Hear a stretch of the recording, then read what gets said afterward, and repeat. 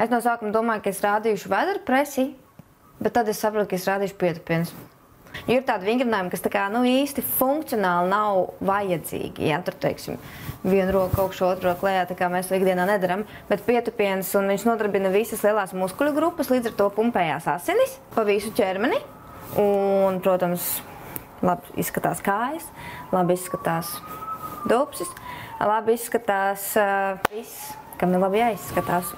Um, vislabākais būtu izstiepties pirms un pēc, tad nesāpēs tā nākamajā dienā, jo pienskāp neuzkrāsies. Un ja mēs gribam runāt par pietupieniem, tad mums ir atkal jāstiepj lūk šīs, šis ten, šādi, dibens, tas ir, izstiepjam dibenu, 20 sekundes vismaz. Tad vēl varam guļus uz muguras stiept šādi priekšu, nofiksēt 90-90, Cēlis skatās lejā vienā līnijā ķermeni un stiept uz šāniem. Šeit varam pieturēt roku. Es stiepu to kvadriceps priekšējo muskulīti. Advancēti var arī stiept lūk šādi, izklupē šo fleksorus te, iegriezties un tad paņemt kāju vēl klāt. Bet te atkal jāstās tehnika, lai ir 90 grādi. Un ja vēl šo kāju mēs stiepjam klāt, tad mēs paņemam uzreiz kvadricepsu un ir ļoti labs stiepiens. Pirms vingrinājumiem 15 sekundes jāpastiepj un pēc vingrošanas 90. Nu, sākot ar 30 sekundēm. Es saku 90 vienkārši, tāpēc, ka neviens nekad nestiepja tik ilgi, cik vajag. Bet jā. Es iemācījos pietupienu, ka man bija 20 gadi. Jo cilvēki teica, ka vajag taisnu muguru, kad tu tupies. Un man likās, kas tas tā kā ir šitā te? Un tipat taisnu muguru. Nu, zini, kā taisnu muguru, ja? Man tā likās. Bet, bet vienmēr sakot, galvenais ir saglabāt to muguru šādā veidā taisni. Nu, šeit taisni.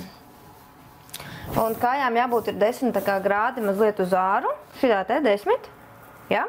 Plecu platumā. Un tad mēs e, ejam lejā. Kruškurs iet līdz, kruškurs tā kā skatās. Nu, tur uztaisīt līdz pusei. Ja? Un tad iet augšā. Mēs ejam uz leju un iesēžamies.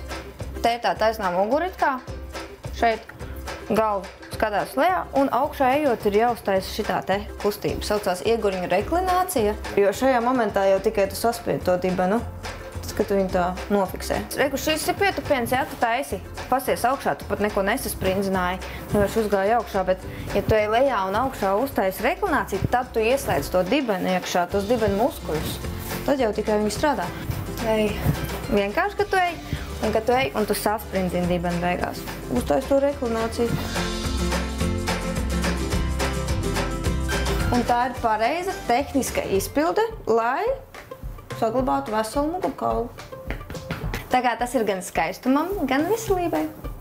Šito paņemsim. Nu. Labi, ka mēs esam mājās. Um, tūlīt. Pietupiens.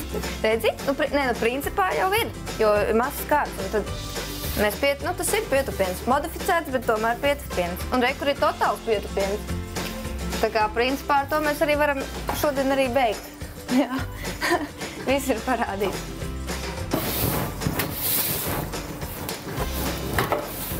Te mēs redzam, pietupiens strādā uz gluteus maksimu. Mums ir hamstringi iet trīs. Priekšā ir kvadriceps, četri muskulīši. Nu, uz krāsām jūs neskatieties, tas priekš mans. Un, un, un viss te gūžas, fleksori, vēders strādā, arī muguriņa lejas daļa strādā. Protams, ka strādā ikri. Tā kā perfekti. Man ir gumijas, un ar gumijām var uh, maksimalizēt to efektu. Tā kā uztaisīt vēl spēcīgāk to vingrinājumu muskuli, jo Labi, kājas visas tagad atkal pa to dibenu. Uh, dibena muskulis veic uh, augstilbu ekstenziju, šādu kustību uz apakaļu. Tad viņš strādā un arī uz ārēju rotāciju viņš strādā, arī dibens. Un tāpēc, kad paņem gumiju, piemēram, noliek šeit, apliek ap pirkstiem galiem, mēs paņemam, ieslēdzam visu sviru. Tā kā tavs kājas, tā gumija dod pretestību, un tagad jau strādā dibens. Tikai to vien, ka tu turi gumiju, tas ir advancētāk un viss, un tagad var sajust, un tagad tu ej, un augšā, un uzreiz ir pilnīgi cits, jo ir pretestība, līdz ar to muskulis strādā vairāk tieši šeit, tā kā tas ir hak.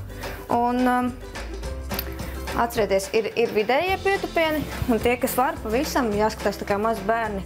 Tais, viņi taisa zemos pietupienus. Varat arī mierīgi iet zemajos pietupienos. Zemie pietupieni ir vēl foršāki. Labi ceļi locītavām, jo viņi tā kā ieļojās, jo tur sāk riņķot sinavēlais šķidrums. Nostājam 20 skvatiņas un diena sākasies. Skvatojot, viena lieta, skatāmies, lai ceļi skatās uz āru. Ceļi skatās līdzi, kur tu ej. Ja? Viņi neiet šādi. Tas ir nepareizi. Tas jau ir biomehānisks noslogojums nepareizi. Vienkārši šādi lejā smuki ceļi skatās un augšā. To pašu gumiju mēs uzviedam augstāk. Šeit. Nu, var arī bez gumiju. Un, un vienkārši sākam kustību uz sāniem. Tad mēs nodarbinam sāna glutejus, jo ir ne tikai maksimus, ir arī mēdījus un minimus.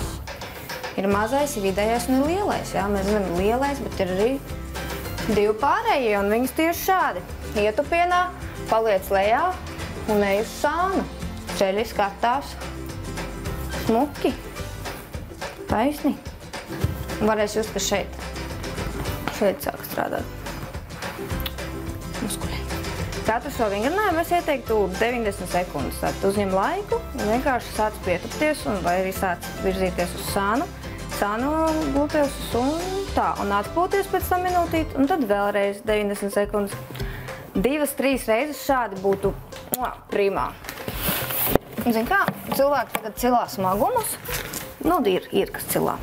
Bet var ņemt visu kaut ko, var ņemt enciklopēdiju, var ņemt printeri, ko nelieto, likt rokās un vienkārši celt.